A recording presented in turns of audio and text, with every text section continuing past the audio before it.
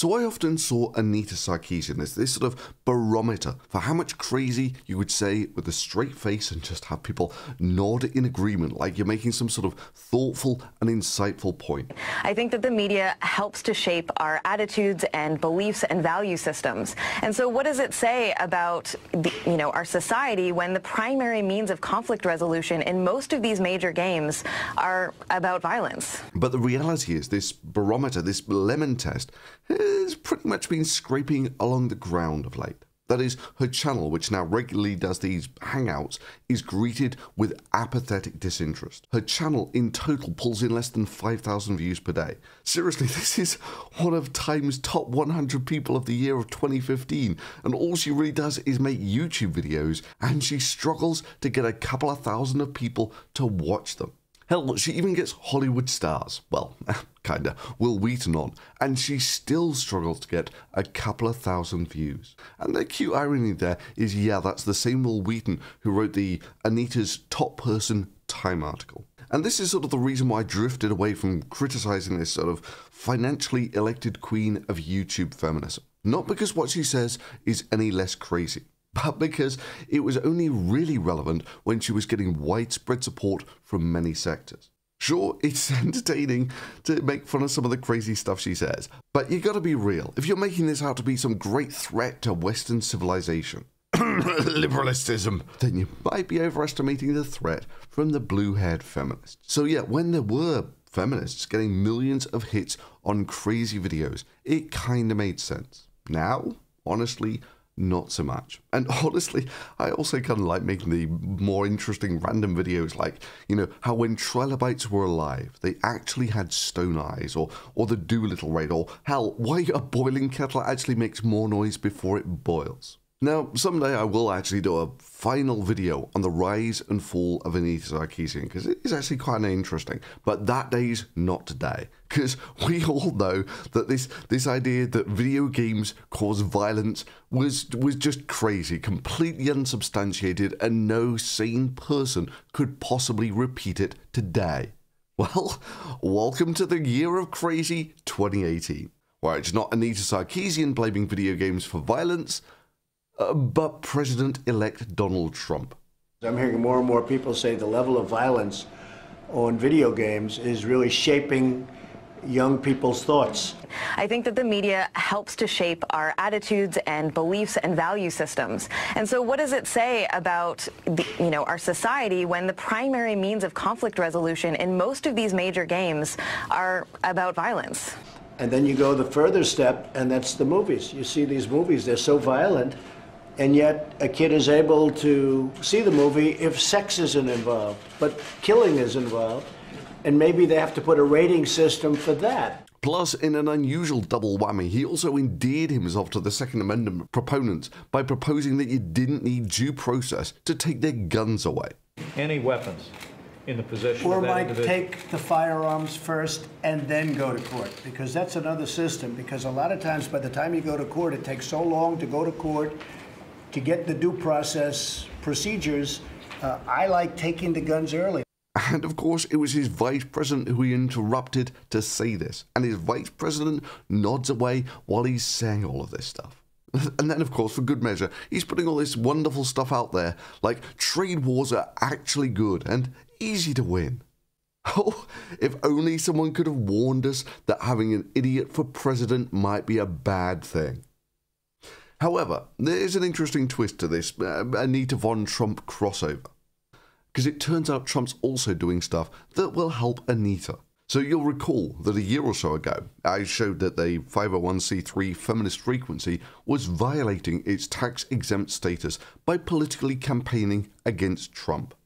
Now, the reason that's an issue, of course, is if you're a charity organization, you don't pay tax, and in turn, you're not allowed to play the game of politics. Well, that same law applies to churches. Yep, churches get tax exempt status. And in return, they're not expected to politically campaign for stuff. Sure, you can get involved on issues, just not overtly backing candidates and that sort of thing.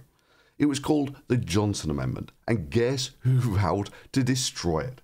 It was the great Thomas Jefferson who said, The God who gave us life gave us liberty. Jefferson asked, Can the liberties of a nation be secure when we have removed a conviction that these liberties are the gift of God? Yep, this is a sermon by Mr. All Wives Matter. Among those freedoms is the right to worship according to our own beliefs. That is why I will get rid of and totally destroy the Johnson Amendment and allow our representatives of faith to speak freely and without fear of retribution.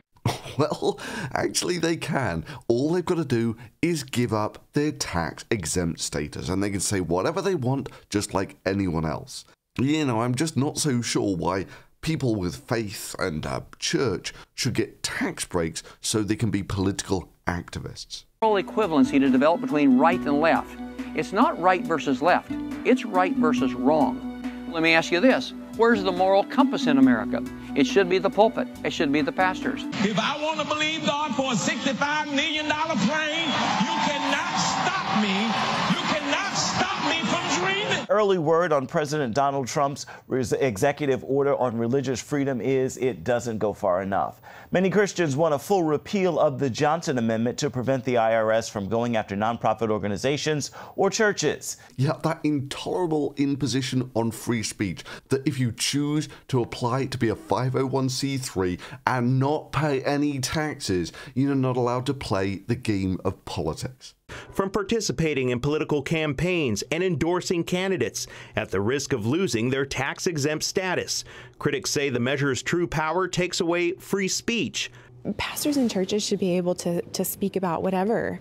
Tumor fell to the platform. I mean, it fell to the platform. We saw it was something else, and it broke in pieces right. Uh, uh, as it hit the stage. Their, the tenets of their faith, you know, direct them to speak about. And it's estimated his ministry brings in more than $200 million a year, mostly based on his pledge that you will be healed if you have enough faith. The government shouldn't be paternally trying to protect churches from being divisive. Rather, uh, the government should stay out of the church's affairs. I've got good news for you. All you do is renounce that tax exempt status and you can advocate for any candidate that you want. So yeah, um, that would kind of save Anita's bacon here. Oh, 2018, you crazy year. Except wait, what's that? Trump claimed that he's revoked the Johnson Amendment? By executive order? Well, actually, not so much. It turns out the president just can't cross laws off the book just because he says so. He needs Congress to approve that. So it turns out all he did was actually write a letter to the Justice Department asking them to go easy on churches that violated the law. And oddly, it's stuff like that that bugs me more. Because last summer, I spent about a month driving around America. Okay, we're in that part of America where the roads are very empty and you have precisely oh no, two radio stations, one of them being Pilgrim Radio. And the crazy religious stuff was everywhere in America. Bluehead crazies, not so much. Or just take a look at the funding.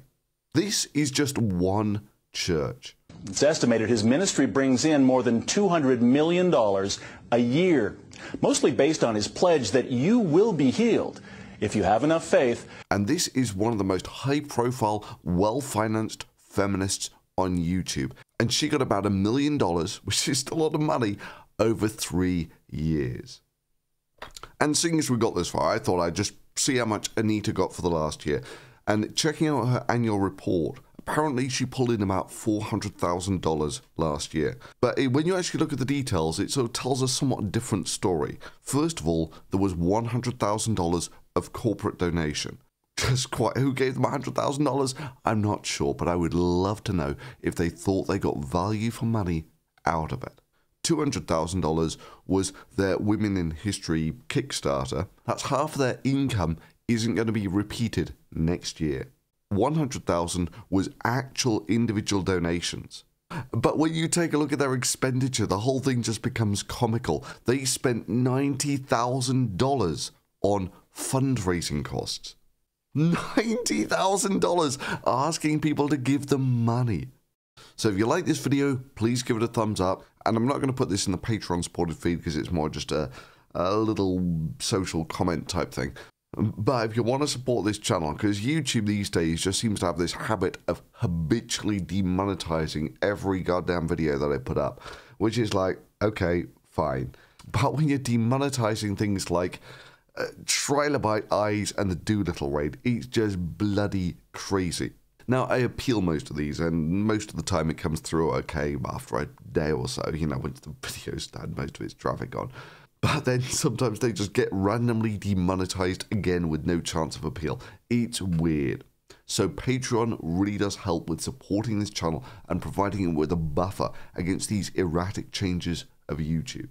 yeah, I mean, seriously. Trilobite Eyes got flagged as unsuitable for advertisers.